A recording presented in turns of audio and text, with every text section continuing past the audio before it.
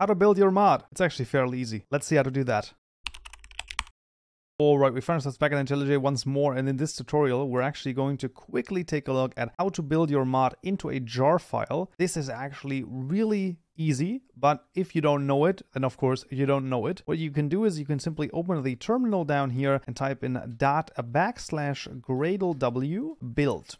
And that's pretty much it. We hit enter and then it's going to run through a whole bunch of stuff. It's going to configure a bunch of stuff. And then after a little while, you know, a couple of seconds, maybe a minute or so, we're going to get hopefully a build successful. And once we get that, what we can do is we can go up here and right click on our project, go to open in Explorer. This will now open an Explorer window. And if I go in here, I have this build folder right here. And if I open this, there's a bunch of folders in there. The only thing that really interests us is the libs folder right here. And there it is, our tutorial mod jar file, which we could now in theory use. We could put this into the mods folder of a Minecraft instance and then it would work. Let's not forget though that we have a Curios dependency in our mod, so you would also need to add Curios to the mods folder. Right, but that would already be it for this tutorial right here. I hope you found this useful and you learned something new. If you did, I would of course appreciate a like. I'll see you in the next tutorial. So yeah,